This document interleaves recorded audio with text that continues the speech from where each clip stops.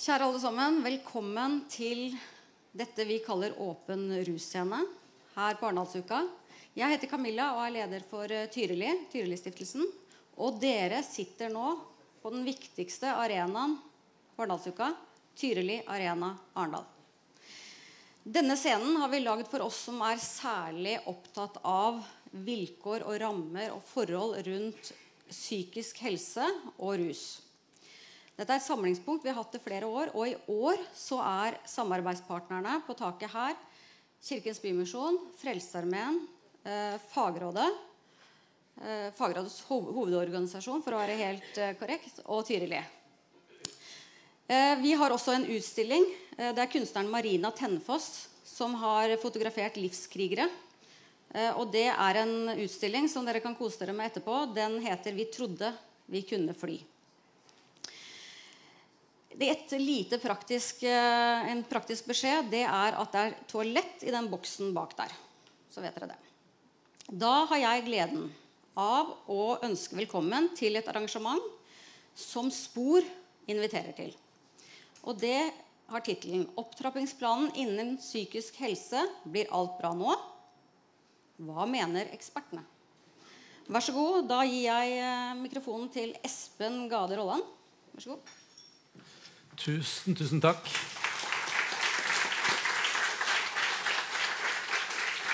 Kjære alle sammen, Hjertelig velkommen til dette arrangementet her i Arendal. Jeg heter da Espen Gade og ble introdusert her og er leder for faggruppe innen psykisk helse og rus i Norsk Sykepleierforbund. Så vi har da en glede av å invitere til dette, denne timen her sammen om opptrappingsplanen sammen med Norsk psykiatrisk forening, Norsk psykologforening og Mental Helse. Bakgrunnen for at eh, vi fire eh, samarbeider om dette, er at vi alle fire er representert i eh, ekspertutvalget for sterkere tematisk organisering innenfor psykisk helsevern, som antageligvis noen av dere har sett om og hørt om, og også mener noe om. Og Vi ønska derfor å ha et arrangement her som omhandler opptrappingsplanen som ble lagt frem av regjeringen rett før sommeren. Veldig flott at så mange har møtt opp, og veldig flott at vi også har det på stream på nett. Da har man mulighet til å delta selv om man ikke er her i Arendal. Så vil jeg også takke selvfølgelig også statssekretær Bjørkholt, som kom nå fra Ap, og nestleder i SV Hussein, som også kom nå, for at de ønsker å være med på denne timen her sammen med oss om den viktige eh, prioriteringa innenfor psykisk helse. Veldig glad for å introdusere dagens møteleder. Det er ingen ringere enn Tove Gundersen, som er generalsekretær i Rådet for psykisk helse, hvor alle de nevnte organisasjonene også er medlem. Så vær så god, Tove. Scenen er din. Hjertelig takk. Dette har jeg sett eh, frem til. Nå skal vi altså virkelig høre på eksperter, fagfolk, politikere og ha debatt. Aller først så skal jeg trekke en linje fra den forrige opptrappingsplanen som vi fikk i 1998. Der evaluerte Forskningsrådet planen. Og den viste at de fleste kvantitative mål ble nådd langt på vei. Og vi er jo veldig glad for det som skjedde med desentralisering, bedre brukermedvirkning. I det hele tatt, det var mye som var fint, med økning med poliklinikk, DPS og noe av den planlagte døgnkapasiteten som da ble forflyttet riktig sted. At vi la ned store sykehus, og at det ble en annen form for uh, psykisk helse og psykisk helsevern, det ble oppnådd. Men innholdet i tjenestene vet vi for lite om, sa Forskningsrådet. Og det er fortsatt behov for styrking av BUP og DPS. Betydelig behov et stykke vei å gå for å innfri intensjonene om god samhandling og flyt i behandlingskjeden. For er kvaliteten god nok? Og brukte dere denne planen som læringspunkt og verk? Det er jo interessant. Det får vi nok høre mer om. Et annet funn fra evalueringen var at de viktigste virkemidlene et av de viktigste var øremerking av midler til utbygging av de psykiske helsetjenestene. Det er to store grupper det er viktig å ha fokus på i tiden som kommer, sa de. Og det var pasienter med lettere psykiske lidelser og eldre. Brukermedvirkningen økte på det individuelle plan, men vi vet lite, sa styringsgruppen i Forskningsrådet. Vi vet relativt lite om innholdet av brukermedvirkning og effekten av denne på alle nivåene. Og på disse nivåene hvor behandlingstilbudene utformes, vil brukernes organisasjoner kunne spille en viktig rolle. Svein Friis sa på vegne av styringsgruppen at han håpet at den rapporten vil bidra til en levende debatt om hvordan samfunnet best kan sikre befolkningens psykiske helse. Det tar vi med oss nå inn i både innspill og debatt. Og da er førstemann ut det er landsleder Ole Marius Minde i Mental Helse. Supert at du kom. Karl Olaf Sundfør, som hørte til denne ekspertgruppen. Han skulle vært der, men så kommer ingen ringere enn sjefen sjæl. Ja. Tusen takk, Tove. Ja, det er veldig stort og flott å få kunne være her og uh, delta i denne fagtunge uh, forsamlinga som også skal opp på scenen. Uh, for det er jo litt sånn som vi har vært inne på i Mental Helse ofte, er at ofte med sammensetningen i de her utvalgene så, så er det behov for flere brukerstemmer. Og, men, men, det er en annen diskusjon vi skal ta en annen dag. Men, men det er et tydelig krav fra organisasjonene. Men i januar så sendte jo det her utvalget sine innspill til regjeringas opptrappingsplan. Og eh, Den er jo lagt fram, og Mental Helse vi har gått igjennom nøye den eh, foreslåtte satsinga på eh, psykisk helse. Så jeg kan jo starte med, med de gode tingene først.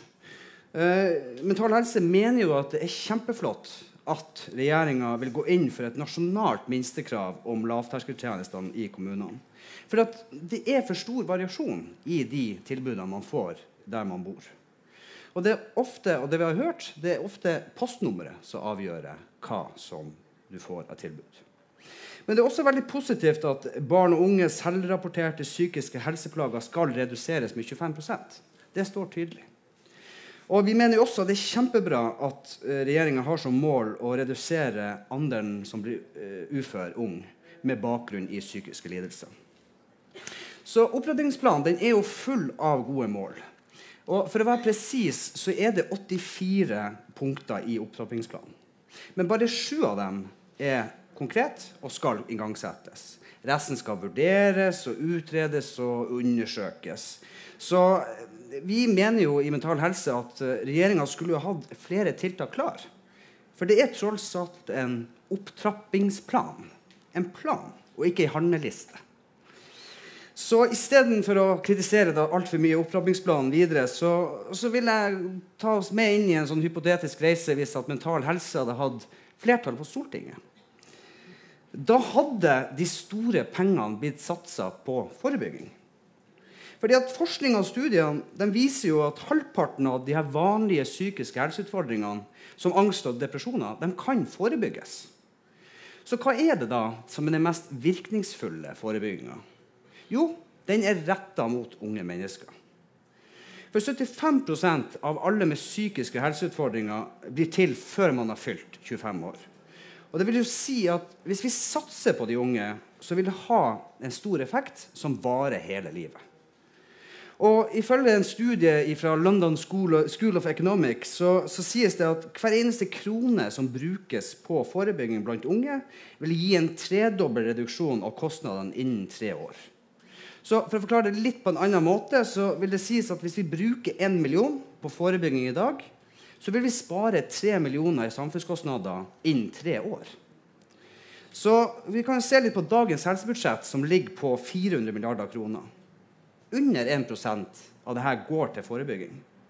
Så med andre ord, så hvis vi satser på forebygging, så vi kunne forvente at psykiske helseutfordringer ikke koster 300 milliarder lenger. Jeg er jo ingen matematiker, men det, her, det høres jo fornuftig ut, tenker jeg. Så er jo spørsmålet hvem virker all eh, forebygging? Og det enkle svaret er nei. da. Fordi at Det er mye som kan kalles forebygging, men det er jo ikke alt som har dokumentert effekt. Og Da er det jo viktig at Mental Helse, som nå fortsatt har et hypotetisk flertall på Stortinget, velger tiltak som faktisk virker. Og finnes det da forebyggende tiltak som virker? Ja. Da må dere merke dere navnet JAM. Det er sikkert flere av dere som har hørt om det før. Men det finnes også nevnt i mange av regjeringens handlingsplaner, som f.eks. handlingsplanen for forebygging av selvmord. JAM. Og Der er JAM beskrevet som et veldig virkningsfullt tiltak med opptil 50% reduksjon av selvmordstanker og 30% reduksjon i angst og depresjoner. Også fem år etter at de har tatt kursene. Så kan vi si litt mer om JAM før det går videre. at Det er jo et helsefremmende og forebyggende undervisningsprogram. Og det er jo et program som fremmer eh, samtaler og diskusjon blant skoleelevene. Det utvider ferdighetene til å møte livets vanskeligheter og øke kunnskap om psykisk helse. Men hvor mye plass har Jam fått i opptrappingsplanen? Og det er ikke nevnt med et eneste ord eller en eneste krone. For I stedet så skal regjeringa bruke tid og penger på å utvikle egne programmer som lærerne skal få ansvar på. Så da må vi stille spørsmålet igjen trenger vi å pålegge lærerne mer oppgaver. Så hvorfor ikke bruke noe som fungerer? Fordi at Psykisk helse er jo blitt et veldig viktig tema for mange. Og Da er det viktig at vi tar de unges bekymringer på alvor. For de unge er bekymra for sin psykiske helse. Svartjenestene våre, hjelpetelefon, Side med ord, eh, har hatt en utrolig stor økning med innkomne samtaler fra barn og unge. Helt ned i niårsalderen har barn kontakta oss. Og utfordringene virker vanskeligere enn før. Og Vi la fram tidligere en undersøkelse i år, i mars, eh, om unge og den, deres psykiske helse. Og de sier, Der finner vi fram at Én av tre er bekymra for sin egen psykiske helse. Én av fem har ingen venner. Halvparten av unge med psykiske helseutfordringer søker ikke hjelp. Og én av ti har selvmordstanker. Så Mental Helse vil dele den bekymringa med de her unge. Så vi mener jo at da ungdom fortjener en bedre fremtid. Ikke prega av dårlig psykisk helse. Leve gode liv. Investere i forebygging. Investere i for, i forebygginga og i fremtida. Tusen takk.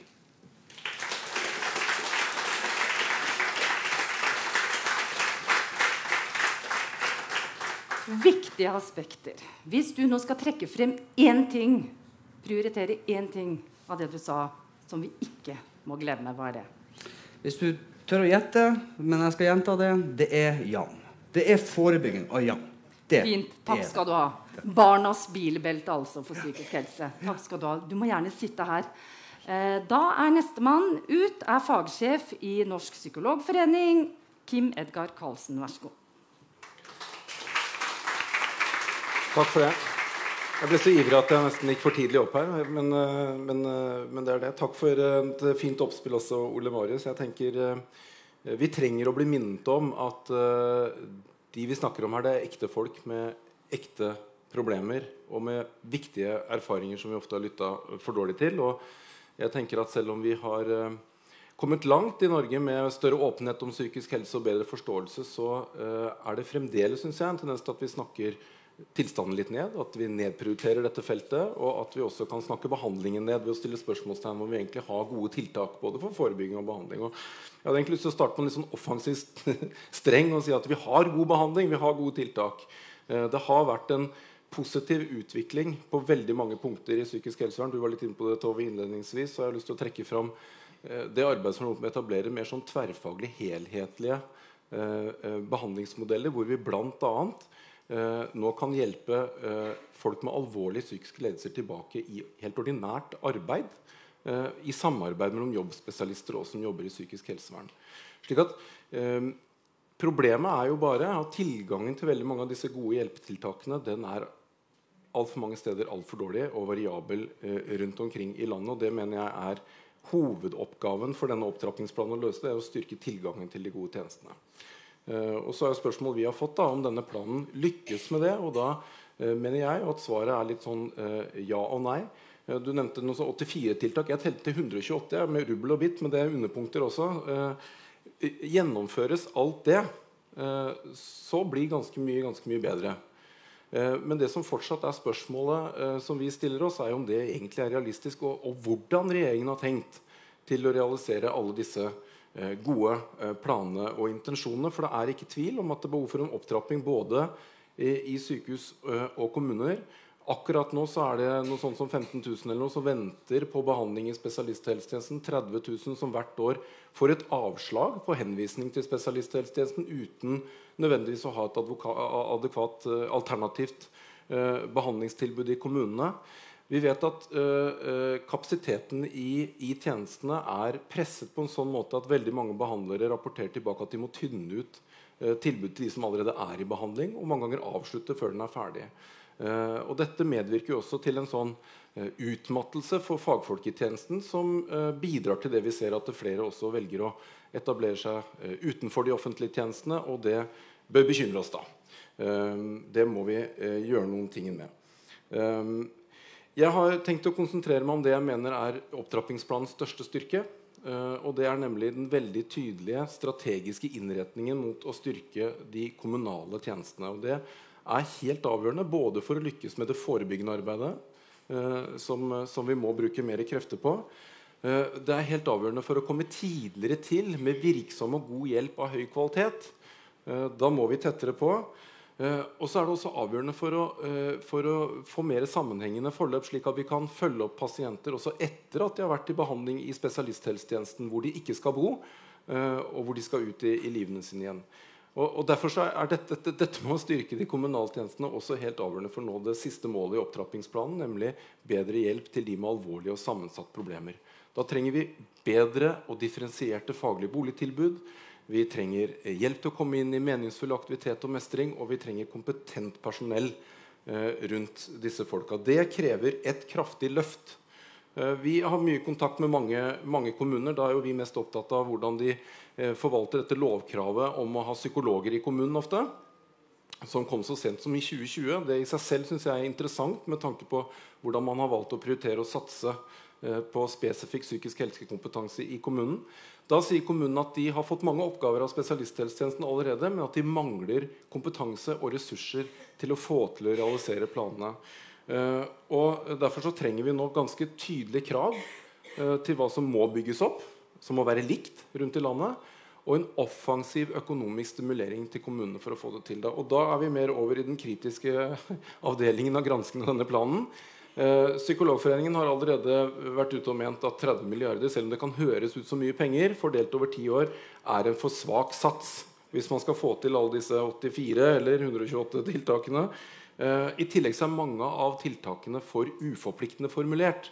Regjeringen skal jobbe for gode boligtilbud. De skal utrede lovfestning av lavterskeltilbud og legge til rette for økt tverrfaglighet i allmenntjenesten. Her er vi utålmodige og er interessert i å vite mer om hvordan regjeringen vil legge press på kommuner eh, og stimulere eh, aktivt. Og så har jeg til slutt en, en, en sånn bønn for tillitsreformen, som jeg merker meg fortsatt er en sentral del av satsingen for å skape mer attraktive arbeidsplasser i det offentlige. Dreie fokuset over på fag, bort fra administrasjon og rapportering og sånn. Men hvor det fortsatt er ganske lite konkret akkurat hvordan regjeringen har tenkt å rydde opp i disse 30 kvalitetsmålene som sier lite om hvordan det går med pasientene våre, f.eks. Så der har vi en liten utfordring til slutt.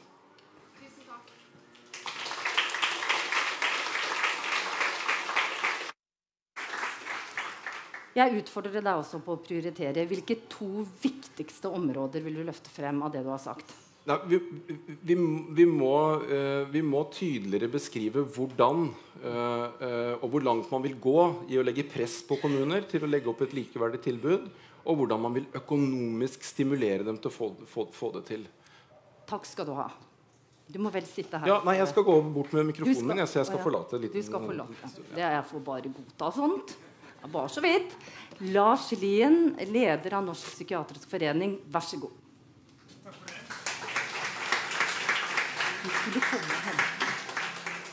Jeg har lyst på å starte opp med å henlede oppmerksomheten mot uh, da, den gruppen som uh, det kanskje ikke har gått så godt med, verken etter opptrappingsplanen, den forrige opptrappingsplanen, eller de som har fått den gode behandlingen som uh, Kim var inne på. Og Det er ROP-gruppen. Altså de med samtidig ruslidelse og samtidig psykisk lidelse. Uh, og De fleste av dere kjenner sikkert til alle de rapportene vi har hatt fra både Riksrevisjonen, uh, vi har hatt rapporter fra Helsetilsynet uh, og en rekke andre rapporter om hvordan det går med spesielt med den gruppen der. Og bare sånn kort referert fra, fra Helsetilsynets rapport så sier de jo at det er mangelfull utredning. altså Dette er fra spesialisthelsetjenesten. Mangelfull utredning særlig når det gjelder ruslidelser. Altså de, de tar ikke tak i rusutfordringen som mange pasienter med psykiske lidelser har. Det er mangelfull oppfølging når det gjelder somatikk. Den får altså ikke plass uh, slik den bør ha. Og tjenestene er ikke integrert, verken horisontalt eller vertikalt.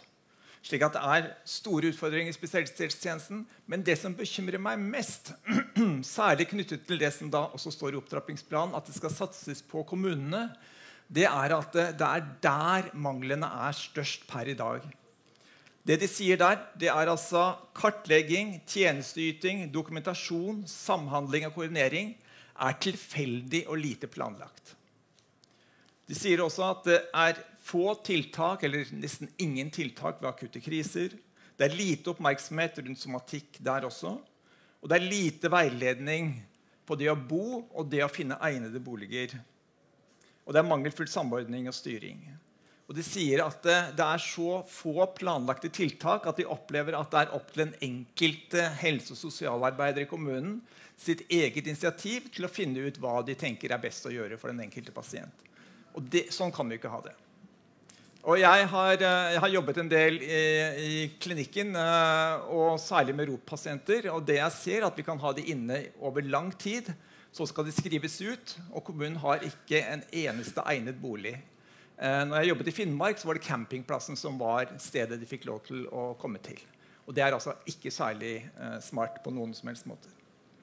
Så var Kim litt inne på dette med dette med dokumentasjon og kravene som ligger der. Jeg tror det har blitt verre etter at vi fikk eh, eh, alle disse, eh, disse, planene vi skulle ha eh, med å sikre pasientene gode tjenester.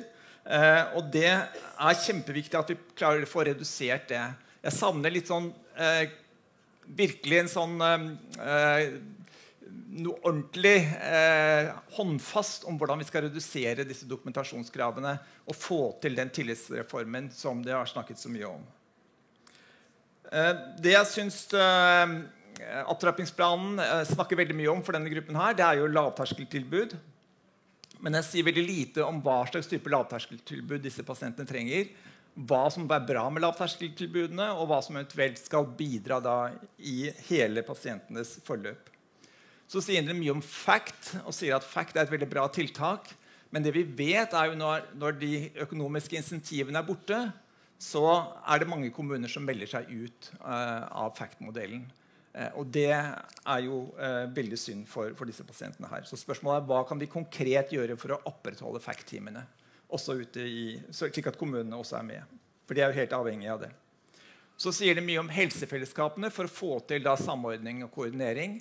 Men spørsmålet igjen er litt hvordan konkret skal helsefellesskapene kunne bidra til spesielt denne gruppen her med, med de aller dårligste eh, tilbudene. Eh, og så tror jeg det er ett svært viktig punkt. Det er at eh, når det gjelder RO-pasientene, så er det en høyspesialisert behandling. Uh, og det er kjempeviktig at vi finner ut hvordan vi skal sikre at vi har godt med spesialister uh, til akkurat den tjenesten der. Og Det syns jeg også mangler litt i opptrappingsplanen. Hvordan skal vi sikre Eh, at det er attraktivt å jobbe innenfor akkurat den gruppen der. For det er de som virkelig trenger spesialistene mest. Så uh, reiser Tove seg, men jeg har bare lyst på å si en liten ting først. og Det handler om økonomi. Fattigdom er en kjempefelle. I sommer jobbet jeg på en DPS. Ringte inn resept til pasienten. Så sier han den har ikke jeg råd til å hente før om 14 dager, for da får jeg trygda mi. Altså, dette er en kjempefelle, og jeg oppfordrer regjeringen og SV til å gjøre noe med i hvert fall egenandelene. Kan dere ikke få fjerna de hos den gruppen her? Det er et helt konkret tiltak eh, som vil ha stor betydning også for den somatiske helsen til disse pasientene her.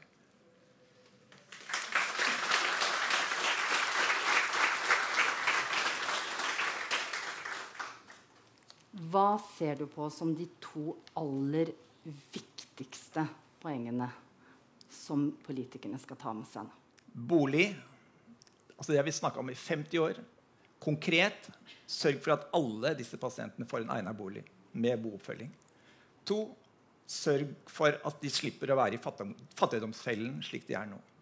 Tusen takk, Lars. Eh, jeg vil gjerne at du gir mikrofonen til Og så at du sitter her oppe. Da er det leder av NSF Spor, Espen eh, Gade Rolland, sin tur. Vær så god, Espen. Tusen takk.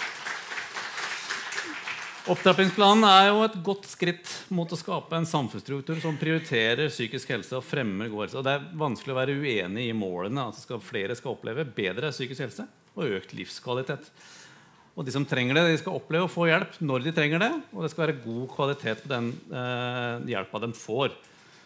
Og det er en rekke innsatsområder i planen som spenner fra det helsefremmende, forebyggende, det er flott, og over til det behandlende, og som vi også har hørt her, mer retta mot mennesker som har alvorlige psykiske lidelser, også samtidig med rusutfordringer og langvarige og sammensatte behov. Det er jo sånn at Mange av disse menneskene må også ivaretas. De må ha, eh, ha hverdagshjelp. Eh, og Det er også viktig å ha med seg. Alle kan ikke tenke at vi skal eh, tilbake til, eh, til, eh, til et, et alminnelig liv og ha forventninger til det. Noen klarer ikke det, og det må vi også ta eh, vare på. Det er ikke til å underslå at Psykiske lidelser er landets, eh, en av landets mest kostbare helseutfordringer. Eh, og Det er vel også derfor eh, politikerne også er opptatt av det. For hvordan kan vi spare penger eh, på en så kostbar eh, tjeneste som, og lidelse som psykiske lidelser bringer med seg? Eh, men det handler jo både om tapt utdanning, tapt arbeid og høy grad av uføre som fører til trygdeutgifter knytta til dette. her. Så sa Kim 30 milliarder. Eh, det var også det Kjerkol røpa på, eh, på lanseringen. og Vi hadde jo, hadde jo håpa på det, vi klappa jo på det, men det var bare tre. Og det mener vi er altfor lite knytta til de tiltakene som, som bør ligge i en sånn plan. Det er altså mangel på reelle virkemidler. og også, som er sagt av mine kollegaer her, det er planlagte utredninger eh, som skal gjøres. Eh, vi er ganske utålmodige. Vi vet noe om hvilke tiltak som funker. Hvorfor ikke sette i gang med det? Lavterskel, psykisk helsehjelp, rask psykisk helsehjelp, det fungerer. Det har vist seg å være god, eh, gi god kvalitet og god helsehjelp. Eh, også FACT, som Lars eh, nevner. Eh, også god evidens på å gi god, gode tjenester til pasienter med sammensatte lidelser ute i kommunen. Det er jo Samhandlingsreformen satt i verk, hvor man da tvinger spesialist- og kommunehelsetjenesten til å jobbe sammen. Eh, vi ser Her i området så legges FACT ned fordi kommunene mener at de ikke har eh, midler til å, gjennomføre det og samarbeide med DPS-ene. Så utfordringen ligger ikke i de faglige uenighetene, men utfordringen ligger i forståelse av eh, økonomisk forpliktelse og hvordan vi skal samarbeide om det. Opptrappingsplanen legger også vekt på tverrfaglig og tverrsektorielt samarbeid. og Det er superviktig, og det setter vi stor pris på. Eh, å sikre gode behandlingsforløp så trenger vi jo hele laget. Vi trenger mindre rapporteringer, det er også nevnt i opptrappingsplanen, og det er vi glad for, og bedre oppgavedeling, sånn at vi kan eh, være mer treffsikre på å gi helsehjelp med den kvaliteten som trengs. Vi må også vekk fra vi har også skrevet om det sammen med Rådet for psykisk helse, vekk fra at uh, akutte tjenester i stor grad bruker uh, ansatte uten eh, helsefaglig utdannelse. 23% av de som jobber innenfor akutt psykisk helse, nei, innenfor psykisk helsevern, har ikke en helse- eller sosialfaglig utdannelse. Og det er diskriminerende i forhold til den pasientpopulasjonen som vi møter. Mange mennesker kan også få god og meningsfull hverdag med langt større fokus på funksjon og mestring enn rene diagnostiske tilnærminger. Eh, så det er jo underlig at spesialisthelsetjenesten er rent diagnosestyrt, mens kommunehelsetjenesten er forløpsstyrt. For to år siden så eh, publiserte WHO veilederen uh, 'Guidance and Technical Package on Community Mental Health Services'. Og denne veilederen må anses som en retningslinje for utviklingen av fremtidens psykiske helsetjenester. Og WHO vil jo da at landene skal satse på tjenester som jobber personsentrert, recovery-orientert og rettighetsbasert. Vi kan ikke se at opptrappingsplanen har trukket fram noen av de gode tiltakene som ligger der i rapporten og anbefalingene. Faktisk er ikke Eh, Eh, er ikke, er ikke planen i det hele tatt omtalt i, i opptrappingsplanen. Og det stiller vi oss litt undrende til og lurer på om vi ikke ser utover egen nasjon. Så vi håper at eh, politikerne merker seg det spørsmålet og tar det med i videre diskusjonen og kanskje også videre. Takk for at dere hørte på.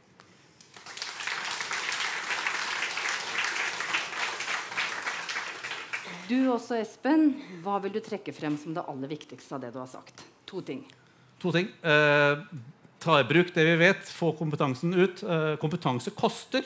Eh, vi, skal, vi, ønsker å bygge hele laget, og da må vi også bygge kompetanse på hele laget i tjenesten. Vi har veldig mange ulike grupper som jobber her, og da må vi også få løfta dem. Hvis du venter litt nå, før dere går ned Det er en grunn for at dere sitter her, og det er fordi dette er ordentlig dedikerte fagfolk.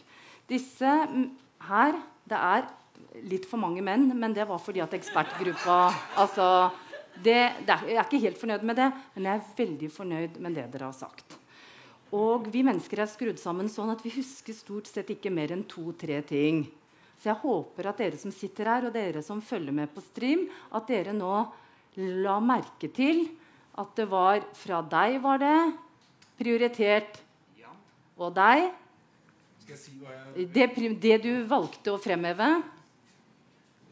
vite hvordan eh, regjeringen skal få kommunene til å faktisk eh, etablere likeverdige tjenester, og hvordan de vil stimulere dem økonomisk offensivt. Flott. Bolig, fjern egenandeler.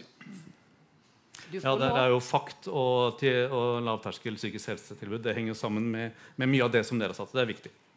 For... Det kan vi få ut. Det vet vi virker. Det kan vi få ut. Ja. Så vi vil ha tydeligere prioriteringer på det for å øke livskvaliteten og ikke minst antall leveår, når vi vet at disse gruppene lever de aller sykeste 15 år minst kortere enn andre.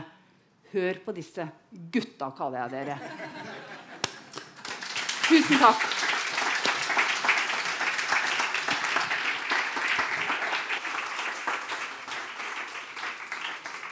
Da har jeg gleden av å ønske velkommen til to eh, jeg vil kalle dere dedikerte politikere. Og jeg er jo veldig spent på hva som eh, dere tenker om det som er blitt sagt her. Eh, så vær så god og velkommen. Både Ole Henrik Rath Bjørkholt, statssekretær i Arbeiderpartiet, og Mariann Hussein, nestleder i SV. Velkommen til dere.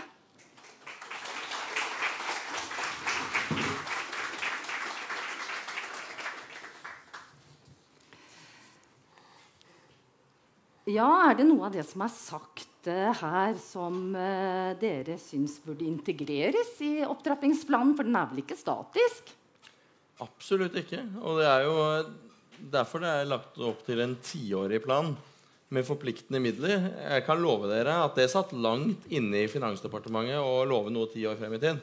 Altså, altså det er sagt, Vanligvis så får aldri lov til å love ting mer enn ett år frem i tid. Eh, så, så, vi har jo lagt opp til Og det kan jo være det skjer både regjeringsskifter og, statsrådsskifter og det ene og det andre i perioden. Så dette er ment å skulle være en dynamisk, langsiktig plan, men med noen klare verdier og mål.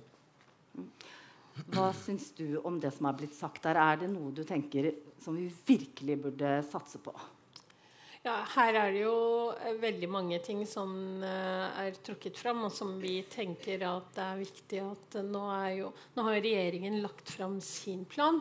Og så ligger den til behandling hos oss i Stortinget.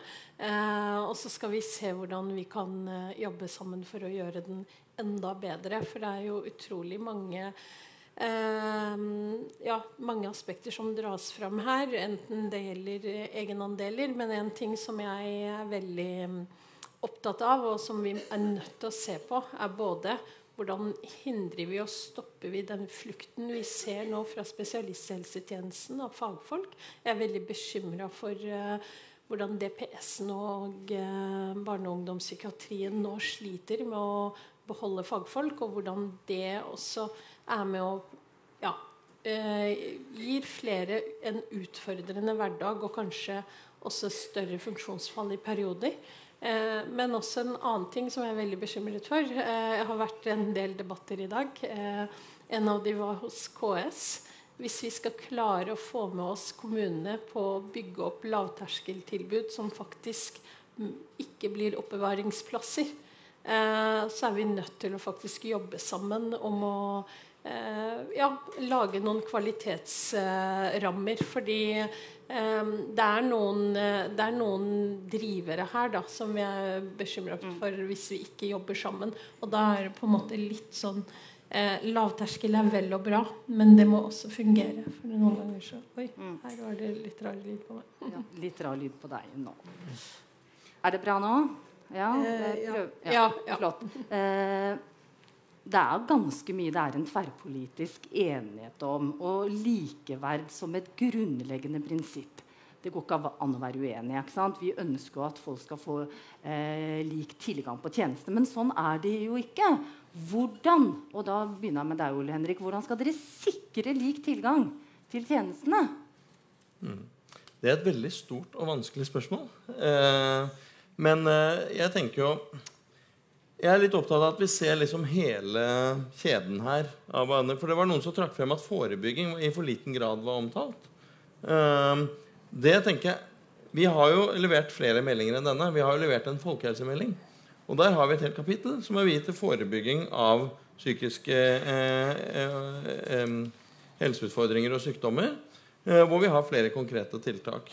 Og så ble det også etterlyst tiltak for ruspasientene. Eh, det er vi selvsagt veldig opptatt av. Det er jo noe omtalt i opptrappingsplanen. Men vi kommer også med en eh, forebyggings- og behandlingsreform for ruslidelser. Så vi har valgt å samle det for seg. da. Eh, og det er det praktiske og gode grunner til. Så det er ikke sånn at vi er, det er ikke sånn at vi, er, vi er nå har kommet med alt, og nå har vi løsningen på alt her i verden. Eh, vi- har jo flere andre meldinger, ikke minst Nasjonal helse- og samhandlingsplan. Hvor det å ha en sammenheng mellom tjenestene, at det ikke er så oppstykket som i dag, eh, blir eh, viktig. Men hvordan man skal sikre alle, uansett hvor de bor, og uansett økonomien til kommunen osv., akkurat de samme tjenestene, det er et gigantisk spørsmål. Det er det jeg skal prøve å gjøre det litt mer operativt. Kan du trekke frem et par tiltak da, i opptrappingsplanen som vil føre til at det målet nås? Ja, altså det er, Man har jo noen måleparametere hva man skal oppnå. da. Eh, man, vi må hele tiden måle hva vi gjør. Hvordan har det endra seg? Har vi oppnådd en reduksjon i antall egenrapporterte psykiske plager hos unge? Hvis vi har holdt på i tre-fire år med en opptrappingsplan, og det tallet ikke har endra seg, ja, da er det ikke sikkert vi er på riktig vei. Så vi har lagd noen, noen mål som vi skal prøve å nå. Eh, men når det er sagt, så er det viktig å, å peke på at de tre milliardene som vi har sagt Det var noen som sa 30 milliarder. Det hadde vært noe. Eh, men eh, de tre milliardene vi har sagt, det er et minimumsbeløp. Det er jo sannsynlig og forhåpentligvis at vi klarer gjennom de årlige budsjettforhandlingene å få enda mer. Og det regner jeg også med vi får drahjelp fra SV til. Når du først er inne på det selv, og det er jo veldig kjekt, synes jeg, for du liker jo ikke så godt når vi andre driver og trekker frem de økonomiske aspektene. Jeg vil si at det regnestykket, det er ganske enkelt. For hvis du hadde tatt 3 milliarder hvert år på hvert av de tre innsatsområdene til helsefremming og forebygging, til mer tilgjengelige tjenester og til innsats knyttet til de med mest sammensatte og alvorlige lidelser, også når det gjelder rusproblematikk. 3 milliarder hvert år, det er 9 milliarder. 9 milliarder hvert år ganger 10 er 90 milliarder. Hadde du ikke dekket de utgiftene da, som ble nevnt her av eh, panelet, bare på ett år? Du hadde jo spart inn de pengene. Det er jo et regnestykke som jeg tror folk her Dere tok det regnestykket. Så jeg er veldig glad for at du sier at eh, det var bare minimum. Så skal jeg ikke presse noe videre på det, men jeg har lyst til at du skal få lov å si litt om hvilke tiltak tenker du skulle, at, som man bør velge for å få likeverdige tjenester, lik tilgang på tjenester. Har du noen tanker om det? Jeg har noen tanker. Akkurat nå, som jeg sa i sted, så er det um, spesialisthelsetjenesten som bekymrer meg mest. Og der tenker jeg at der må man gå inn og styre helseforetakene. Vi har sett gang på gang at hvis ikke vi har en hvis, ikke, hvis spesialisthelsetjenesten butter under nå, så klarer vi ikke den opptrappingsplanen. Så vi må satse på Og da må regjeringen være villig til å styre helseforetakene og sette ned foten på at her skal det være vekst, ikke nedtrapping. Hva mener du om det? Bare for å være veldig konkret i svaret på akkurat det med spesialisthelsetjenesten. Eh, så har jo eh, Ingvild Kjerkol gitt klar marsjordre til helseforetakene om at det er uaktuelt med ytterligere nedbygging av sengeplasser i psykiatrien hvis det er på nasjonalt nivå. Det kan jo fortsatt skje at det legges ned syv plasser i Rogaland og tre i Nordland. Men da skal det være tilsvarende opptrapping andre steder i landet. Så på nasjonalt nivå så skal det ikke være noen form for nedbygging nå. Og så er det liksom, Dette har jo folk sagt på inn- og utpust i 20 år. Vi må ikke bygge ytterligere ned. vi må ikke bygge ytterligere ned. Likevel så skjer det gang på gang. Så hva er årsaken til det? Det må man prøve å stille seg spørsmål om. Og da prøver jeg å lage et sånn bilde av en som padler i kano. Hvis du padler i kano motstrøms, så går det fryktelig seint fremover. Av og til går du bakover hvis du ikke er sterk nok. Og hva er det? Det er systemet til finansieringen til spesialisthelsetjenesten. Det har tradisjonelt vært 70 eh, som har vært finansiert ved aktivitetsbaserte såkalt DRG-takster. Eh, det har gjort at det er mer lønnsomt for sykehusene å satse på somatikk enn på psykiatri. For de tjener mer penger. De får mer penger fra staten. Det er motstrøms. det. Hvis du sier til sykehusene ja, dere må prioritere psykiatri, men vi gir dere mindre penger hvis dere gjør som vi sier, det, er, det gjør ofte at de ikke gjør som vi sier. Eh, og da har vi tenkt at da må vi gjøre noe med det. da. Så vi har redusert gradvis den eh, eh, innsatsstyrte finansieringen fra 70 til 60 til 50 nå. Eh, det er faktisk nede på 40 nå eh, på sykehusene.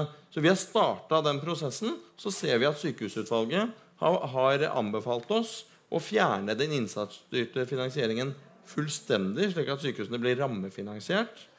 Det ser vi på med interesse, eh, hvis jeg kan si det sånn. Så kan jeg ikke love noe akkurat hvordan, for det er ikke tatt eh, formelt stilling til det. Men det er klart, hvis du skal padle motstrøms eh, rett foran et fosterfall, eller hvis du skal padle langs et helt stille vann, så er det litt eh, forskjellig hvor langt du når med den kanoen.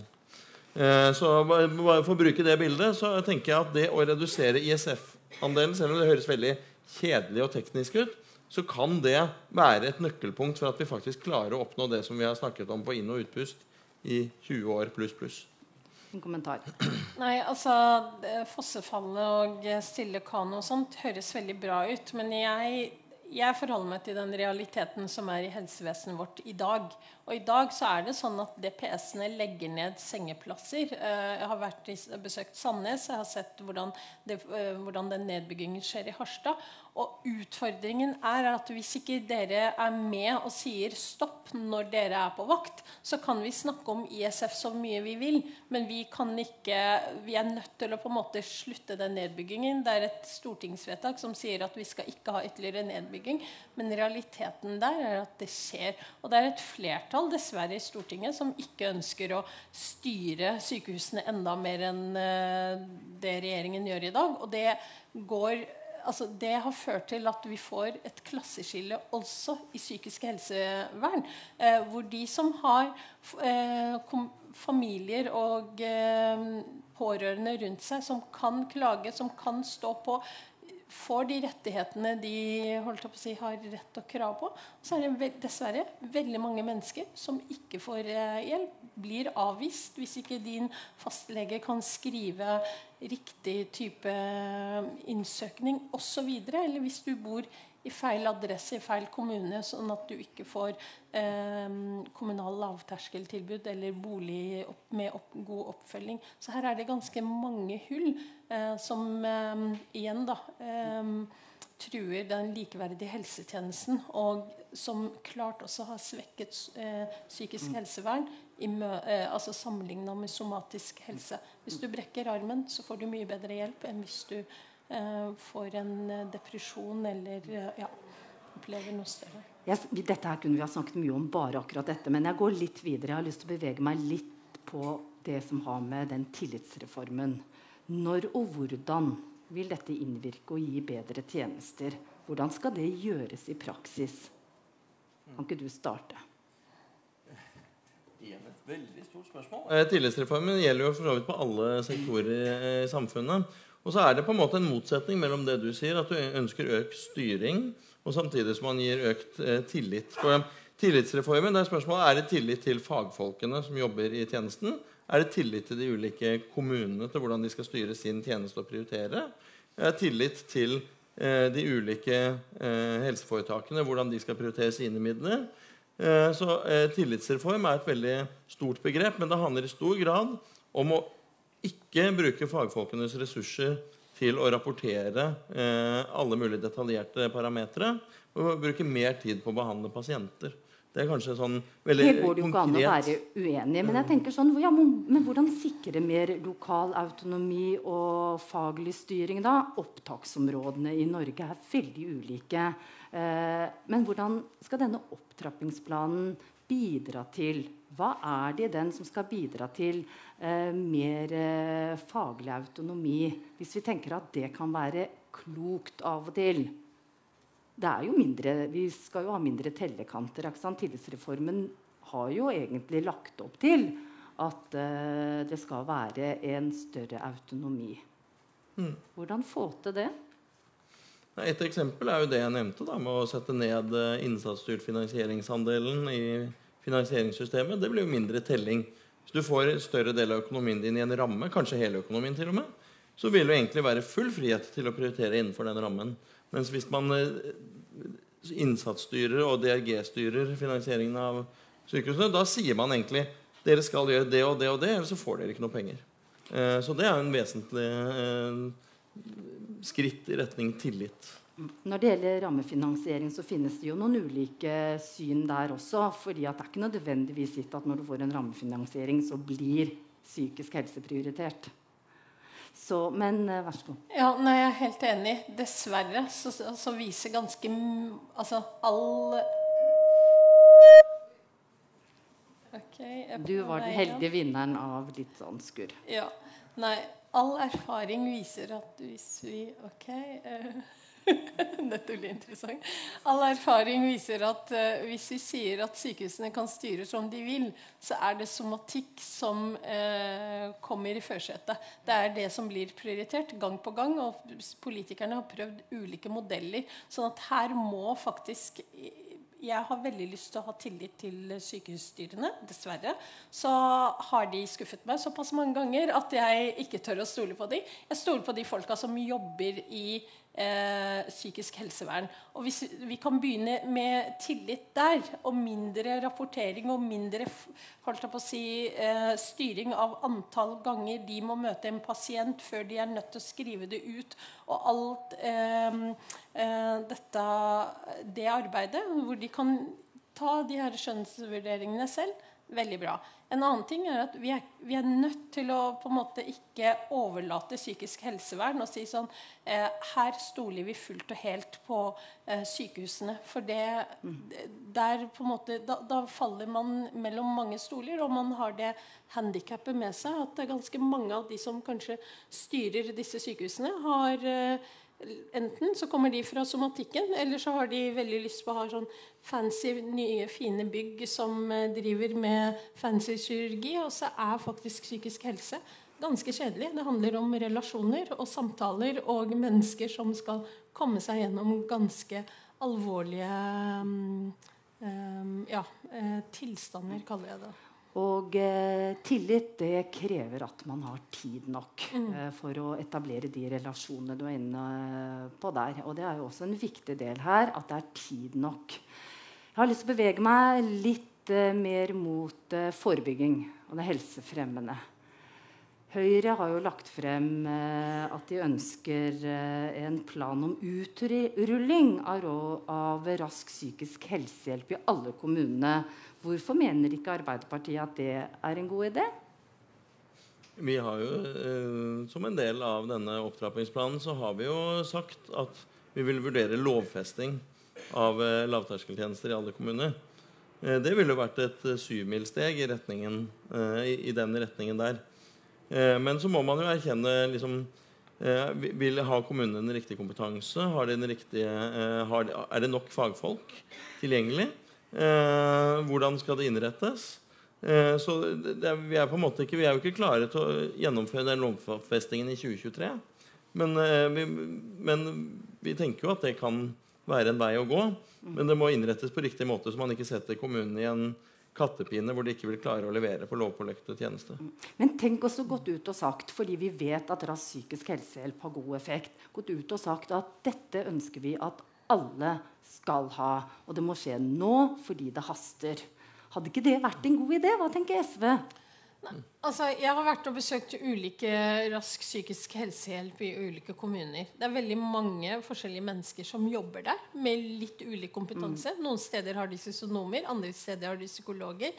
Andre steder så har de helsesykepleiere eh, osv. Så mm. Sånn at det å tenke at eh, altså, Vi skal ha rask psykisk helsehjelp. Vi er ikke helt sikre på innholdet eh, eller kompetansekravene.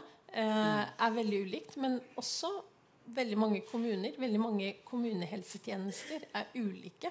De har ulik type demografi i befolkningen sin. Så jeg, jeg har lyst til å lære mer, for å være ærlig. Og så kan vi se på det her i, psykisk, eh, i den opptrappingsplanen. Men det er noe med at vi kan fint vedta ting på Stortinget, men hvis realiteten der ute er, er at du ikke har de menneskene i dine tjenester, eller ikke har uh, den sammensetningen i din befolkning, så er det også uh, ganske, ganske, ulikt. For det fins jo veldig mange kommuner og bydeler som får til ganske mye bra uten at, de kan, uten at det er lovfesta også i dag. Noe av det som er situasjonen i dag, det er at det er lange køer hos noen av de som har allerede etablert rask psykisk helsehjelp.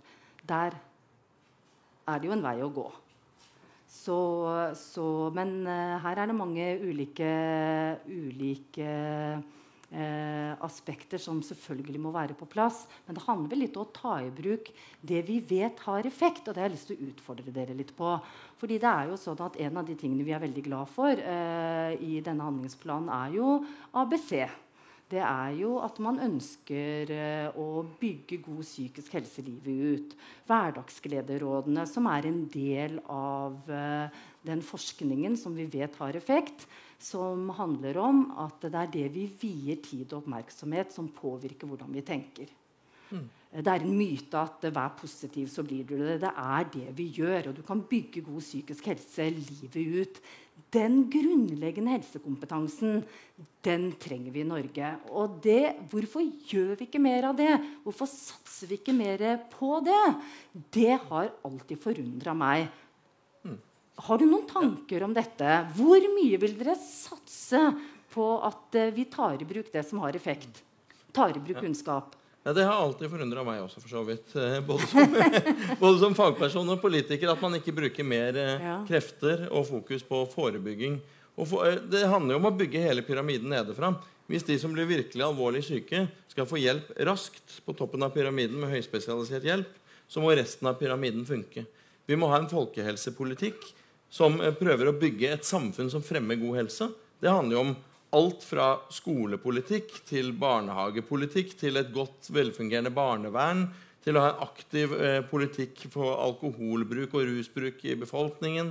Det handler om eh, å utjevne sosiale forskjeller eh, ved å bruke et, et, skattesystem som utjevner forskjellen, sånn at du unngår fattigdom og folk som ikke har råd til bolig eller medisiner. Så det, handler, liksom, det er bunnen av pyramiden. Og så er det det med lavterskel eh, psykisk helsehjelp som vi har vært ganske tydelige på i denne opptrappingsplanen. Og så har vi styrket fastlegeordningen ganske heftig i 2023, som er en veldig viktig lavterskeltjeneste for hele befolkningen, både for psykisk og somatisk helse. Eh, og når du bygger den pyramiden nedefra, så vil, eh, så vil, det være nesten en forutsetning for at vi skal lykkes med akseptable ventetider på toppen av pyramiden. Men denne kunnskapen har vi jo hatt i mange år, og vi vet jo at det tar 17 år eh, fra kunnskap foreligger til vi tar det i bruk. Jam er jo et eksempel på det. ikke sant? Nå har altså Mental Helse holdt på med dette i årevis. Eh, og hvorfor? Er det så vanskelig ikke å klare å prioritere det? Det lurer jeg litt på. Har dere slåss for å få jam- og selvmordsforebygging inn i opptrappingsplanen? Eller hva skjedde egentlig på kammerset? Altså, jam er jo eh, omtalt i folkehelsemeldingen. Eh, men ikke i opptrappingsplanen psykisk helse. Og det var, det var et bevisst valg, fordi folkehelsemeldingen skulle ta for seg det grunnleggende forebyggende, og så skulle opptrappingsplanen ta seg av det litt mer kliniske og sykdomsfokuserte. Så, det, så jam er jo omtalt i folkehelsemeldingen. Kommer det til å bli tatt i bruk, eh, tror du, i løpet av de neste to-tre årene? Jeg kan ikke gi deg et konkret svar på det her og nå. Hva ville du gjort hvis du hadde kunnet prioritere eh, knyttet til de opplæringsprogrammene for å øke helsekompetansen i befolkningen? Den trenger vi. Det vet vi jo nå etter det vi har vært gjennom de siste årene. Psykisk helse er så grunnleggende viktig i helseberedskapen i Norge. Av hvilke lavterskeltilbud, tilgjengelige tjenester, opplæringsprogram ville SV ha valgt? Altså, en av de viktigste tingene er jo å sørge for gode universelle eh, ordninger som, eh, som, handler alt fra på en måte helsestasjoner ikke sant, når, eh, ja, under svangerskapet, holdt jeg på å si, til, eh, til um, oppfølgingen som du får i skolene, til altså, dette teamet rundt elevene, som ikke bare handler om uh, helsesykepleier og sykdom, men også som handler om hvordan kan du med dine forutsetninger mestre din hverdag, uh, enten du har den ene eller den andre diagnosen. Og jeg tror at vi er nødt til altså, vi mennesker vi er ulike, uh, og da er vi nødt til å liksom, ha et samfunn også som klarer å um, tilrettelegge for at vi alle bruker våre egenskaper. Og jeg tror at det er ganske mye bra med utviklingen i vårt samfunn, men det mm. har faktisk altså, Det har blitt noe lettere å være annerledes, men det har også blitt mye vanskeligere å være annerledes når alt skal strømlinjeformes, eh, og hvor, eh, hvor, dette med press på prestasjon og karakterer har blitt så mye høyere for mange elever. Så vi er nødt til å se på det her jaget i mye større grad, og se vår skolepolitikk eh, og helsepolitikk i sammenheng. Hvilke unger er det vi eh, gjør klar til framtidas Norge. Eh, og så eh, er jo ikke opptrappingsplanen vedtatt ennå, så jeg har ikke lyst til å si noe om jam ennå. Ja, nå må vi snart gå ned for landingen. Kort kommentar før jeg kommer med det siste spørsmålet. Ja. Må bare vise til noe sånn konkret. Vi snakker veldig mye om vyer langt frem i tid. og sånn, Men bare vise til noe konkret vi har gjort. da. Mm. Vi har jo øremerka 150 millioner kroner til lavterskeltilbud i statsbudsjettet. Og I tillegg så ligger det 150 millioner i kommuneproposisjonen, så kommunene får øremerka penger til eh, lavterskel psykisk helse. Eh, eh, og så har vi lagt 1 milliard inn for å styrke fastlegeordningen. Og så har vi innført, eller vi vil pilotere en nasjonal sånn ABC-kampanje for å forebygge psykisk uhelse. Så vi har på en måte starta, men vi er på ingen måte i mål. Mm. Eh, har, jeg har sett at det er relativt mye om familiepolitikk i et sånt integrert livsløpsperspektiv i denne opptrappingsplanen. Og, og, det er bra. Men hvordan skal helseberedskapen møte den nye livssituasjonen som nå stadig flere familier står i? Og nå handler det om mange risikofaktorer for psykisk uhelse, med gjeld og mye uforutsette ting. Fattigdom, sosial ulikhet. Eh, som eh, bare vokser. Eh, vil du si noe der? Er det noe dere kan avrunde med her som handler om at man tar hensyn til den nå-situasjonen veldig mange familier står i? Hva er det aller viktigste rådene dere vil gi? Det var et stort eh, spørsmål. Vi kan selvfølgelig begynne å ramse opp de tingene vi har. At vi har økt sosialstønader og økt eh, barnetrygd og økt en del ting. Så vi, har kommet med akuttiltak. Men vi ser jo at det, det veldig mange familier opplever nedsatt kjøpekraft. Og for de familier som i utgangspunktet lå helt på terskelen til fattigdom, så er det flere som er blitt drevet over i fattigdom. Dette er vi kjempebekymra over. Vi håper jo at, eh, at, vi kan lose Norge gjennom den største økonomiske krisen på mange tiår på en slik måte at Norge kommer styrket ut av det som land, og at ikke de sosiale forskjellene har økt og kanskje tvert imot blir senket. Og Da må man gjøre noen prioriteringer. med hvordan, hvordan, skal vi få bukt med inflasjonen? Skal vi gjøre det ved å kutte i velferdstjenester til de som trenger det aller mest, eller skal vi gjøre det ved å innføre lakseskatt? Eh, du skal få lov å eh, avslutte, Mariann. Hva ville du ha valgt for å redusere sosiale forskjeller hvis du skulle komme med et par ting som du virkelig ville satsa på? Ja, jeg er veldig glad for at Ole Henrik eh, forteller om både økningen i sosialhjelp og økningen i barnetrygd som SV forhandlet inn i eh, revidert statsbudsjett. Og, eh, så er det en annen velferdsreform som handler om SFO, eh, å gjøre den gratis. Vi har sett at i områder med eh, ganske store forskjeller i inntekt. Der har på en måte eh, f.eks. i min eh, si, bydel, hvor eh, en del skoler gikk fra 30-40% deltakelse i SFO.